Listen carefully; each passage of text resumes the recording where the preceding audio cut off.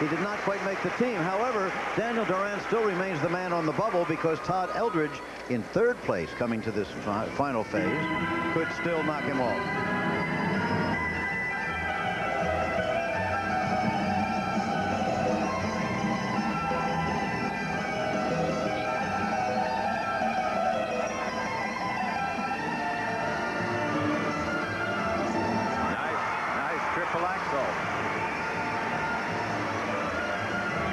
jumps are tough. And look at this double, triple jump combination. No, single, double, triple. Double, triple, sorry.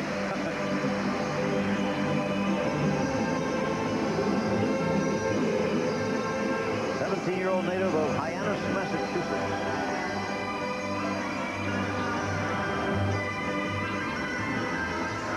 Oops, triple left. All starts at the beginning of the jump.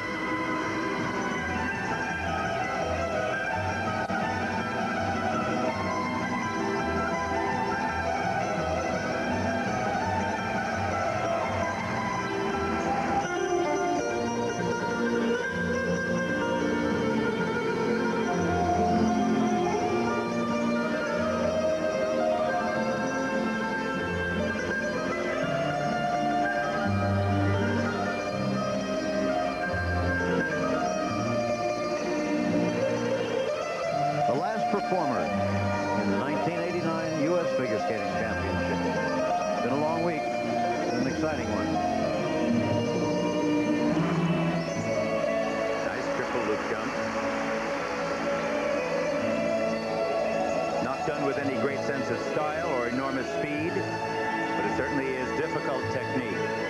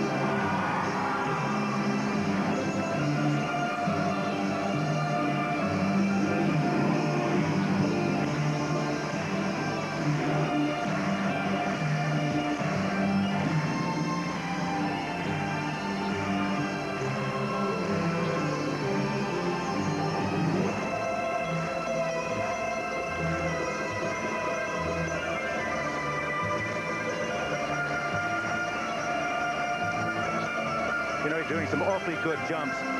Unfortunately, he just doesn't do them with enough style or presence to be able to really make them sing. Very good technique.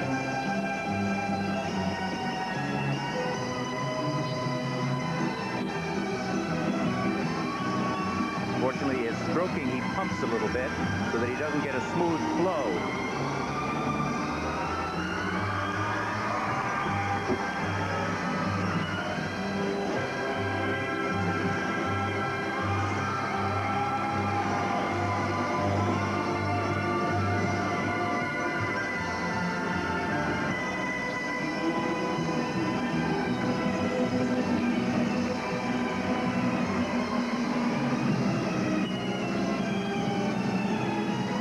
scratch spin.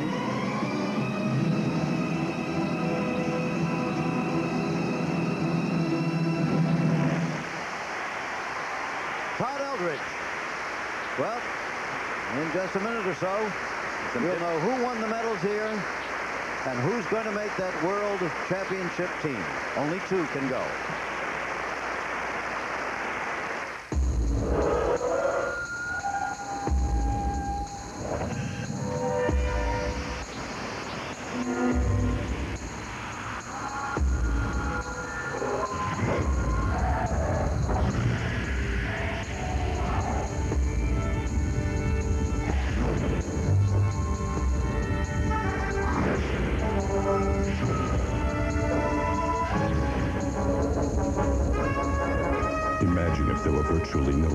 To how large your company could grow and still communicate effectively.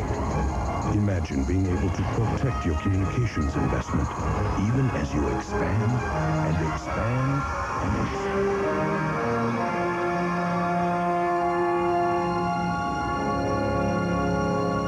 AT&T introduces Definity 7585, a new communication system so advanced it is literally impossible to outgrow.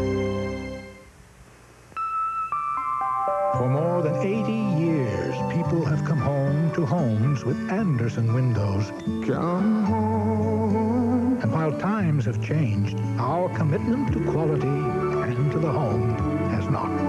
Which is why today, more people come home to Andersen windows than any other. Come home to quality. Come home to Andersen. One of the ring's toughest fighters, IBF lightweight champ Greg Haugen meets the number one contender, on ABC's Wide World of Sports. His fifth. Well, we're back again, and Todd Eldredge has dropped down to fifth place. His march 5-4 to 5-8, a wide range on the first set. The second set, 5-3s to 5-7. So, let's go down to David. Christopher, hello. the World Championships are wide open this year. How would you assess your chances? Well, I think my chances are very good, you know, provided that I have time now to train and push myself really hard. I had no time to train or prepare for this competition. It was very difficult because I had an injury.